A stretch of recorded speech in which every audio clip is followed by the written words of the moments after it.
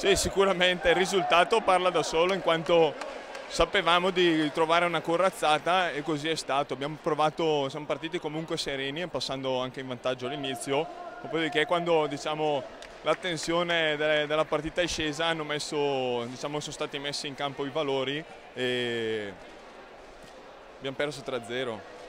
Di là delle, della mia prova l'importante è il risultato in quanto abbiamo perso 3-0, Mondovì ero già entrato, avevamo, avevamo vinto, preferirei fare un'entrata così, ecco, l'importante comunque è sempre il risultato di squadra. Io se serve entro, mi faccio trovare pronto più che posso e così.